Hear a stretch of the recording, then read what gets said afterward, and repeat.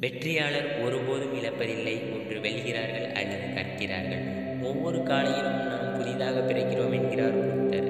இயற்கை நமக்கு அளிக்கும் ஓர் உன்னதமான பரிசு என்பது இன்றைய நாள். அந்த நாளை இனிமையாக்க நமக்கு தேவை புத்துணர்வு ஊட்டும் சிந்தனைகளும் உற்சாகமான செயல்பாடுகளுமே. அப்படி இந்த நாளை புதிய விசையுடன் தொடங்க உதவும் அறிஞர்களின் பொன்மொழிகள் சில உங்களுக்காக. கோபம் என்பது பிறர் செய்யும் தவறுக்கு உனக்கு நீயே கொடுத்து கொள்ளும் தண்டனை. அதீத சிந்தனையே மகிழ்ச்சியற்றதற்கு மிகப்பெரிய காரணம். கற்றலை ஒருபோதும் நிறுத்த வேண்டாம் ஏனென்றால் வாழ்க்கை ஒருபோதும் கற்பிப்பதை நிறுத்தாது. விரோத மனப்பான்மை இல்லாமல் எதை செய்தாலும் அது தடையின்றி முழுமையாக நிறைவேறும். சக மனிதனின் மனதை காயப்படுத்தி இறைவனிடம் வேண்டும் எந்த பிரார்த்தனையும் பலிக்காது. மனதை அடக்க நினைத்தால் அலையும் அதை அறிய நினைத்தால் அடக்கும் தவறு செய்வதும் மனம்தான். இனி தவறு செய்யக்கூடாது என்று தீர்மானிப்பதும் மனம். சூரியனையும் சந்திரனையும் நம்மால் ஒப்பிட முடியாது. ஏனெனில் அவை அதற்குரிய நேரத்தில் தான் பிரவாசிக்கும் அதுபோலவே ஒருபோதும் உங்கள் வாழ்க்கையை மற்றவர்களோடு ஒப்பிடாதீர்கள். நிம்மதிக்கான இரண்டு வழிகள். விட்டு கொடுங்கள் இல்லை விட்டு விடுங்கள். பிரச்சனைகளை தூரத்தில் வைத்து பழகுங்கள். நிம்மதி பக்கத்திலேயே இருக்கும். மிகப்பெரிய நன்மை மற்றவர்களுக்கு உதவுவது எதற்காகவும் அவசரப்படாதீர்கள். நேரம் வரும்போது தானாகவே அது நடந்தேறும். யாரையும் பழிவாங்க நினைக்காதே. உன்னை ஏமாற்றியவர்கள் தன் கர்ம வினையை அடைந்தே தீர்வர். நீ அதிர்ஷ்டசாலியாக இருந்தால் அவை உன் கண் முன்னே நிகழும். மனிதனின் அஸ்திகளை கொண்டு ஒரு மாயை கட்டி ஊனும் உதிரமும் கலந்து சாந்து பூசப்பட்டிருக்கிறது. இதிலே தான் வசிக்கின்றன. முதுமையும் மரணமும் கர்வமும் கபடம் அமைதியாய் இருப்பவன் முட்டாள் என்று எண்ணி விடாதே பேசுபவனை விட கேட்பவனே புத்திசாலி. நம் எண்ணங்கள் யாவும் பிறருக்கு எந்த வகையிலும் துன்பம் தருவதாக இருக்கக்கூடாது. பிறருக்கு நன்மையும் ஆறுதலையும் தரக்கூடியதாக இருக்க வேண்டும். உண்மை என்பது ஒரு இனிமையான உணர்வு. உண்மையின் அருமை தெரியாதவர்கள் இனிமையின் சுகத்தை உணராதவர்கள். ஆசைக்கும் அன்புக்கும் அடிமையாகாதீர்கள். ஏனெனில் இரண்டுமே உங்களை அடிமையாக்கிவிடும். ரத்தம் வராமல் ஒருவனை கொன்றுவிடும் பிரச்சனை என்று எதுவும் இல்லை. சிந்தித்து செயல்படு தீர்ந்துவிடும் உன் பிரச்சனை. வெளிப்புறத்தை கழுவியது போதும். உட்புறமான உள்ளத்தை கழுவுவதே தேவையானது. உங்கள் மகிழ்ச்சிக்கும் துயரத்திற்கும் நீங்களே காரணம். மௌனம் உங்களை சந்தோஷப்படுத்தும். புன்னகை பிறரை உற்சாகப்படுத்தும். மன தூய்மையுடன் செய்யும் செயல்களால் ஏற்படும் புண்ணியம் ஒருவனை நிழல் போல தொடர்ந்து நேற்று நடந்தவற்றை உங்களால் மாற்ற முடியாது. நாளை நடப்பதை தடுக்க முடியாது. இன்றைய பொழுதில் இக்கணத்தில் வாழுங்கள். அதுதான் எல்லா துன்பங்களுக்கும் ஒரே தீர்வு. மிக மோசமான திருடன் தீய சிந்தனை.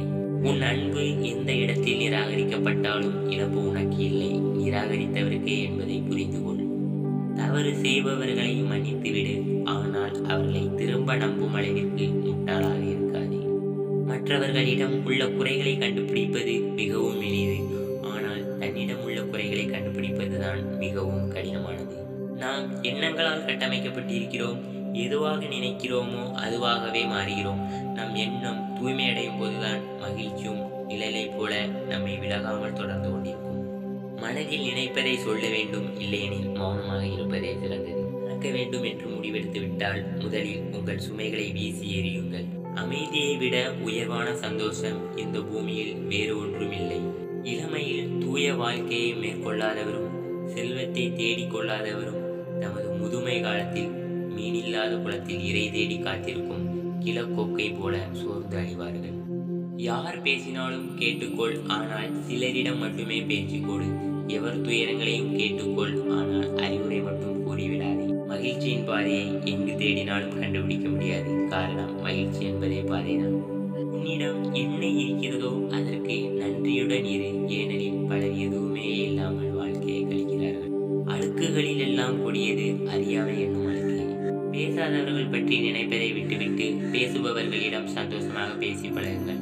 அதுவே தேவையில்லாத மன அழுத்தங்களை குறைக்கும். உயிரை கொள்கிறவரும் பொய் பேசுகிறவரும் திருடுகிறவரும் மாற்றான் மனைவியை விரும்புகிறவரும் மயக்கம் தருகிற கல்லை குடிக்கிறவரும் இவ்வுலகத்திலே நமது வேரை தாமே தேடிக் கொள்கிறார்கள் உடலை திடத்துடனும் நலத்துடனும் வைத்திருக்கிறவனாலேயே மனதையும் வலிமையாக வைத்திருக்க முடியும். நீரிலிருந்து கற்றுக்கொள். ஆழமில்லாத தண்ணீர் பரப்பில் இருந்தால் இரைச்சலிடும் ஆழ்கடல் எப்போதும் பேரமைதியாகவே இருக்கும். கோபத்தை அன்பினால் வெல் தீமையை நன்மையினால் வெல் கருமையை தானத்தினால் வெல் பொய்யை மெய்யினால் வெல்.